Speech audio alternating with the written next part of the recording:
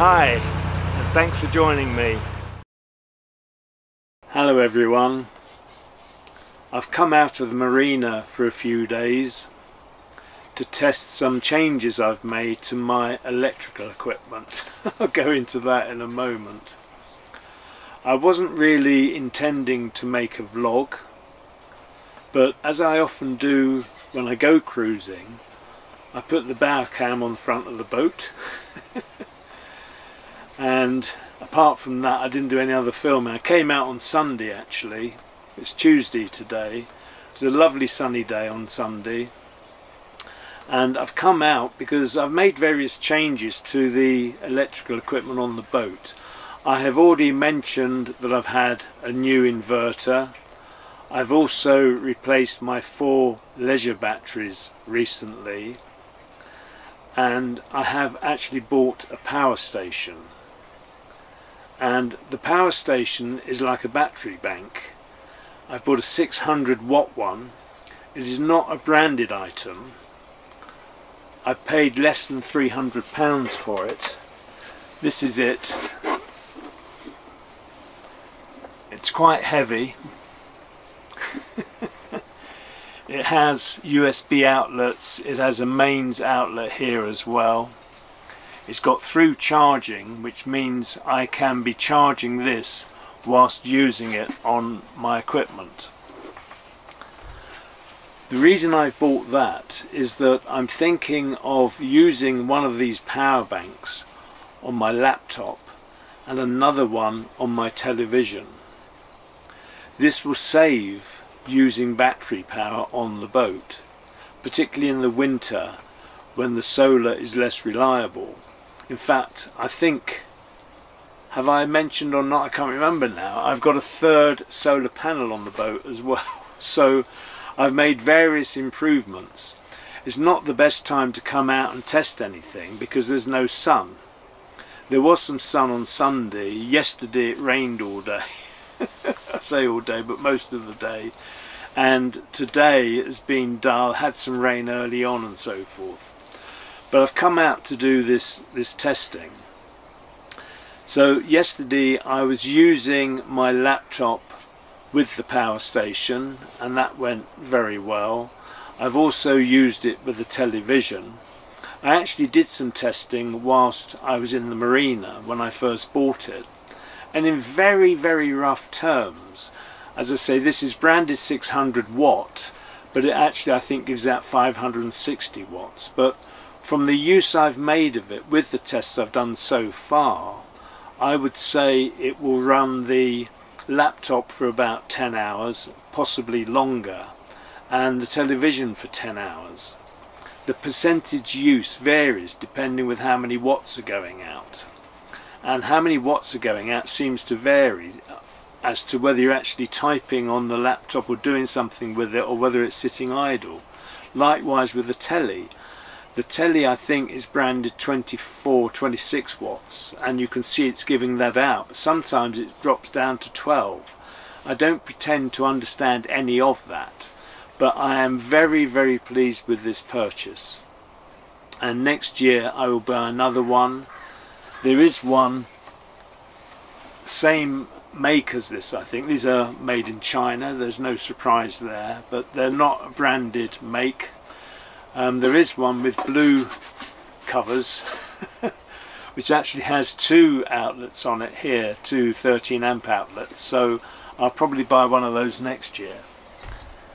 A lot of these power stations run into the thousand pound plus mark um, for a thousand watts or kilowatt but I'm happy with these. I think it's a good way for me to do things. So far all has gone very well with the batteries. I'm very pleased with everything. I am concerned that I haven't engaged with you personally so much this year. I've done a lot of filming. When I filmed the when, uh, when I filmed the summer cruise, I filmed very intensively over my two weeks when I went out to Tixall Wide and then I published that and I made 20 episodes from it. I think I've mentioned this already.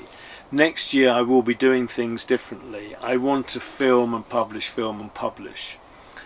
Having said that, between now and Christmas I have three non-cruising topics to publish.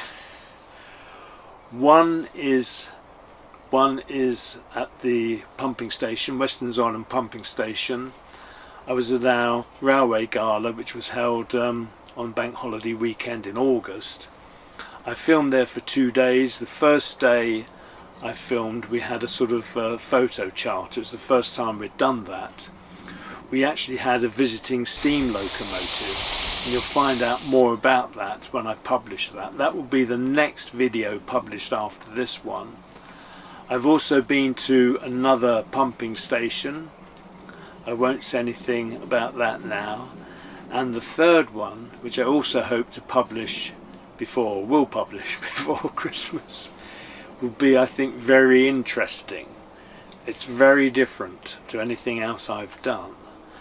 I know the non-cruising videos don't have the same appeal to everyone, but it is variety the road trip, the Yorkshire Dales road trip, has been extremely well received, particularly from people overseas, some expats who grew up in the area and like to see it, and some people who have their ancestry in the Yorkshire area. So I'm pleased at how that's been received. Don't get the same viewing numbers as I do with the cruising videos, but that's life, not worried about that they're well received and that's what is important to me. I cruised out on Sunday. As I said, it was a lovely day. I moored up just beyond Bridge 22. There's a long straight there and I thought that would be a good place to moor. I was the only boat there. Normally there's five or six boats along there, but there were no boats there. I stayed there yesterday because the weather was bad then today I decided to move up to where I am now. I'm just beyond Bridge 27. I'm the first boat moored up on the left hand side beyond the bridge. There are another four boats here. I thought it was three originally but there are four other boats along here so I have company in that sense. I don't know who they are though. It's been very quiet. There's only been about half a dozen boat movements today.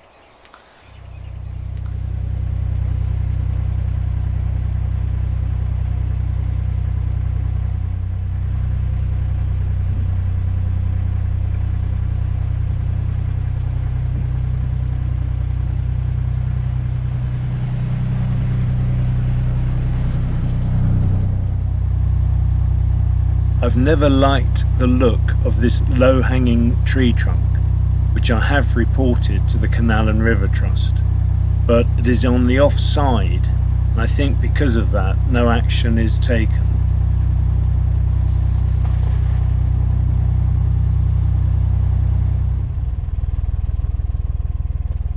I've just gone under Bridge 27 and I'm about to moor up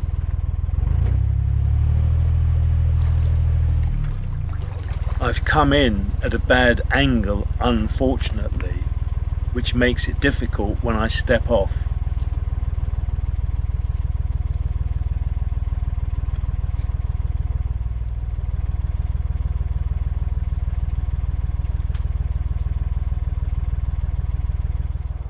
Mooring up when it's wet, damp, the towpath is muddy it's been raining quite a bit today. Yesterday it rained most of the day.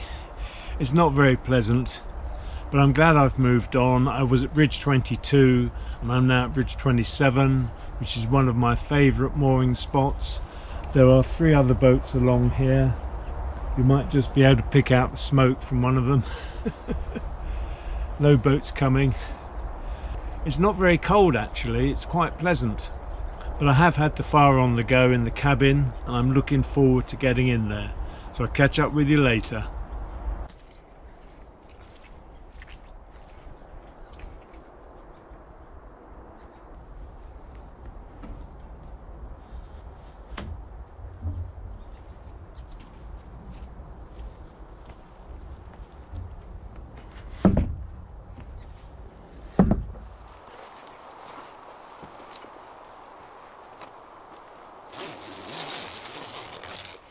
It rained earlier in the morning but it's been relatively dry since. It's overcast, it's been overcast all day. There are a lot of birds buzzing around. I'm going to see if I can get them on film, just bear with me. I've got another little camera here and I'm not sure whether it will pick them up. I think they've all gone now.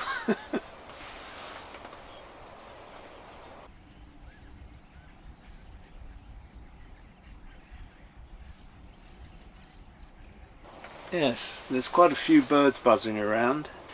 I'll see if I can catch those in a minute when I've stopped talking to you. I'll probably say this again at Christmas, but I do want to engage more with you. So next year I'll be back to how I used to do it, I think. Um, I think that's quite important. Sometimes I worry that the quality of film isn't going to be very good or the lighting isn't very good in the boat or whatever, but I will do my best. So what more can I tell you? This trip is all about testing the batteries, testing the power station. Ah, I've just remembered something else that I've done. The actual inverter can be quite power hungry and it was suggested by Tim from Onboard Solar who fitted my, my third panel because my original installation was from Onboard Solar he said why don't I buy a small 150 watt inverter? That comes with a cigar lighter. Plug that in and run my router from that so that I don't have to run the main inverter. Run a small inverter which is less power hungry. I've been testing that. In fact I've been using that all day for running the router and that's working an absolute treat. I'm really very very pleased with that.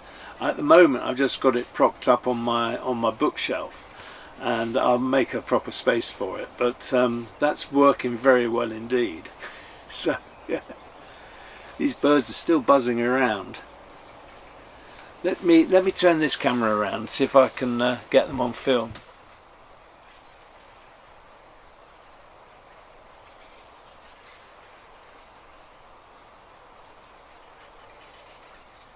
It's still not like it was earlier because there are fewer birds.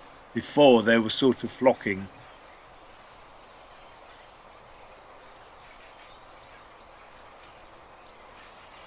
They're not actually flocking around like they did originally. When I first saw them they were really all together.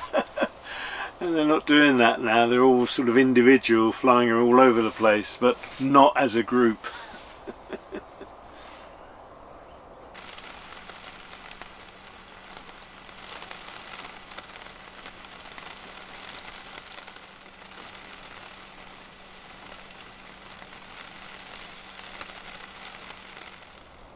What a difference the weather is now. It's going to be a beautiful day. Good morning. It's a beautiful morning now. I'm trying to find somewhere to sit where the sun is lighting me up and there isn't too much shadow. So I hope this is the position. I've experimented a bit already. What a night or what a morning I should say, when I was awakened it was raining so heavily, really, really miserable. But today has always promised sunshine. Most of the day we should have it. It's out now, it's absolutely glorious at the moment. I will be moving on a little bit later, but I've just thought of something else which I forgot to mention yesterday. When I had the inverter changed, and just to recap I used to have a 1 kilowatt Sterling inverter and I now have a 2 kilowatt pure sine wave inverter.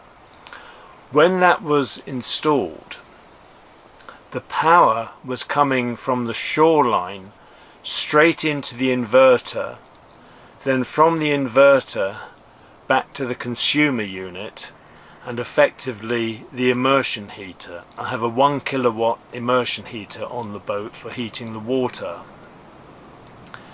What that meant was that if the power was to go out suddenly whilst the immersion heater was on, the immersion heater would then run from the batteries and would drain them very quickly. So that arrangement was not ideal and many thanks to Pete, a fellow boater, he has now changed that for me. And I'm very grateful to him. So what we now have is an arrangement where I have two consumer units. In this picture you can see the original arrangement how it was with one consumer unit, a switch box which was switching the immersion heater on and off and also the battery charger because previously I had a separate battery charger and then we've got my control panel for the 12 volts and the galvanic isolator.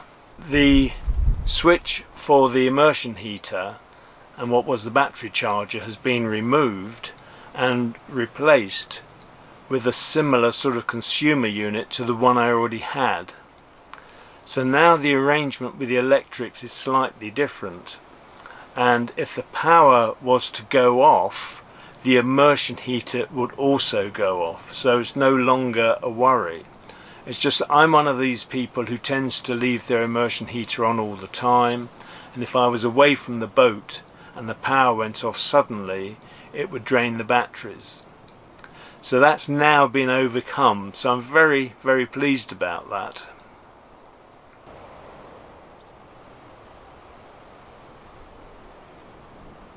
I'm going to bring this episode to a conclusion here. I hope you've enjoyed this. A bit of a break from what I've been doing recently.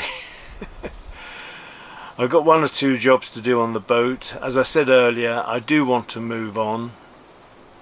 So, unless you've got any questions, and I'm sure you have, put them in the comments. I should just say many, many thanks to everyone for watching, new subscribers, regular viewers. It means a great deal to me. As I said earlier, I had a lot of comments on the um, Yorkshire road trip which I was pleased about because um, sometimes I don't get as many comments as I used to but that has proved very popular. I've got a few in the pipeline that I've already discussed so please look out for those. Meanwhile all that remains for me to do and say is to wish you all well. Hope you're looking after your friends and families. Take the utmost care with whatever you're doing. Until next time, bye for now.